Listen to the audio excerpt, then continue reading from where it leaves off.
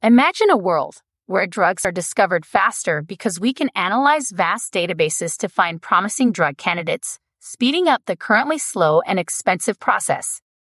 Where chemical reactions are optimized because we can predict how molecules will interact, allowing chemists to design efficient and environmentally friendly reactions, reducing trial and error. Where new materials are created because we can identify materials with specific properties, leading to innovations in fields like solar energy or sustainable manufacturing. This is the future AI is bringing to chemistry. Right now, AI is already assisting drug discovery. It helps sift through massive data sets to find molecules that target specific diseases. It's already predicting reaction outcomes. It can analyze past experiments to predict the products and yields of new reactions.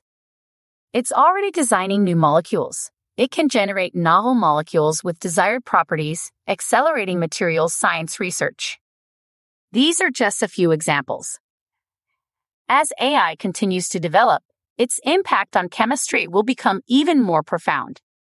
We can expect to see personalized medicine, revolutionized materials, and faster scientific progress.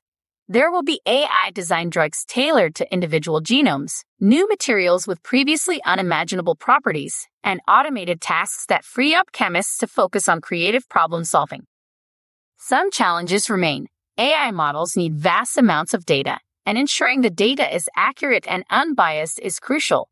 Additionally, human expertise will still be essential for interpreting results and guiding research. The future of chemistry is a powerful blend of human ingenuity and artificial intelligence. Buckle up because it's going to be an exciting ride.